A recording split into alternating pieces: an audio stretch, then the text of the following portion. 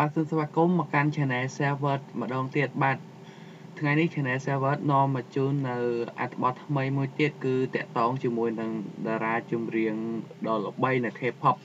បាទអុញនោះ Dispatch ចោត G-Dragon ថា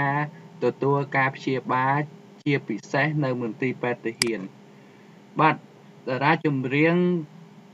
G Dragon ត្រូវបានសារព័ត៌មាន Dispatch ចោទប្រកាន់ថា ទទួលបានការព្យាបាលជាពិសេសនៅមន្ទីរពេទ្យទាហាន G Dragon បានចូលបម្រើកងទ័ពកាលពីថ្ងៃទី5ខែមេសា ហើយក៏ចំណាយពេលអស់20ថ្ងៃក្នុងមន្ទីរពេទ្យរួចមកហើយដែរចាប់តាំងពីចូលវឹកហាត់មកនោះលោកត្រូវបានបញ្ជូនទៅមន្ទីរពេទ្យចំនួន4លើក និងបានដាក់ច្បាប់ឈឺឈប់សម្រាកចំនួន2លើក ក្នុងមួយលើកពី9ទៅ10ថ្ងៃ លោកបានសម្រាប់ព្យាបាលកជើងកាលពីថ្ងៃទី19រួចហើយថែមទាំងបាន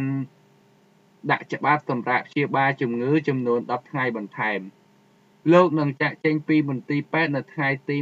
28ខាងមុខនេះ បាទគឺលោកជីតាកនគាត់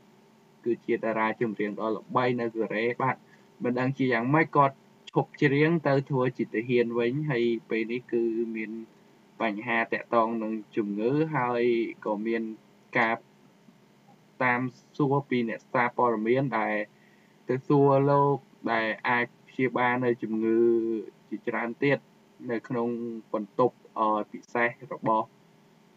មេធំបាទទោះជាយ៉ាងណាក៏ដោយ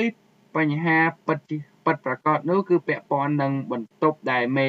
Big Bang រូបនេះបាទមេក្រុម Big Bang រូបនេះកំពុងសម្រាប់ព្យាបាលក្នុងមន្ទីរពេទ្យទាហានបើតាមសារព័ត៌មាន Dispatch បានឲ្យដឹងថាបន្ទប់នោះមានលេខ 3XX ស្ថិតក្នុងអគារ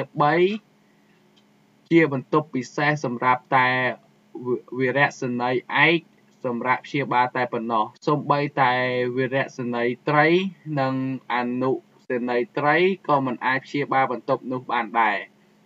បន្ទប់ដែលតារាចម្រៀងរូបនេះកំពុងសម្រាប់ព្យាបាលនោះគឺមានបំពាក់ទៅដោយម៉ាស៊ីនត្រជាក់ទូទឹកកកនិងទូរទស្សន៍ផងដែរចំណែកបន្ទប់សម្រាប់ព្យាបាលសម្រាប់ទាហានធម្មតាវិញគ្មានសម្ភារៈទាំងអស់នេះទេ ជាធម្មតាម៉ោងសម្រាប់អ្នកចូលសួរសុខទុក្ខកំណត់ចាប់ពីម៉ោង11ដល់ម៉ោង5ល្ងាចប៉ុន្តែតាមទាហានម្នាក់បានឲ្យដឹងថាខ្ញុំបានឃើញមនុស្សម្នាក់ដែលមើលទៅដូចជាអ្នកគ្រប់គ្រងរបស់គាត់ទៅសួរសុខទុក្ខក្រោយម៉ោង5ទៀតបាទគឺមានករណីពិសេសយ៉ាងម៉េចទេចំពោះ G Dragon បាទនៅ ពេលដែលសារព័ត៌មាន District បានចូលទៅមន្ទីរពេទ្យហើយសាកសួរពីមូលហេតុដែលតារាចម្រៀង G Dragon អាចប្រើប្រាស់បន្ទប់វីរៈសេនីយ៍ឯកបាននោះ ខាងមន្ទីរពេទ្យបាននិយាយថា ពួកយើងអាចឆ្លើយតបបានលុះត្រាតែ អ្នកមានលិខិតស្នើសុំសាកសួរដែលនឹងត្រូវធ្វើឡើងមុន3ថ្ងៃទៅពួកយើងអាចផ្ដល់ចម្លើយទៅពួកលោកបានបាទ បើសិនជាមានព័ត៌មានអីថ្មីតាក់ទងនឹងព័ត៌មាននេះខាង Channel Server នឹងនាំមកជូននៅប្រិយមិត្តទាំងអស់គ្នាទៀតបាទចំពោះអត្ថបទនេះក៏សូមបញ្ចប់ត្រឹមប៉ុណ្នេះបាទសូមអរគុណសម្រាប់ជួយសម្រាប់តាមដានជួយតាមដានរហូតមកបាទសូមទោសផងបាទជួយ Subscribe ដើម្បីទទួលបានវីដេអូថ្មីថ្មីពី Channel Server ទាំងអស់គ្នាបាទក៏សូមអភ័យទោសបាទសូមអរគុណសូមជម្រាបលា